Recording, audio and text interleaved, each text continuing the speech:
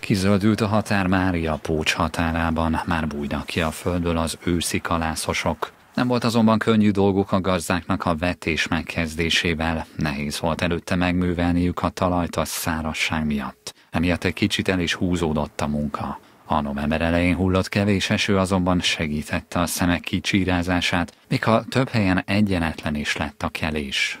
Én úgy látom, hogy a növekedett valamennyit az őszi búza is, illetve a, a tavaszi árpa, a repcénak a területe visszanövekedtek ahhoz a megszokott szinthez.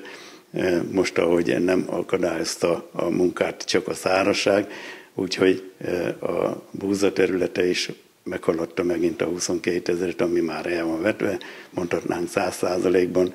A repce is a 4600 hektáron szoktunk termelni, ez tavaly egy kicsit kevesebb volt.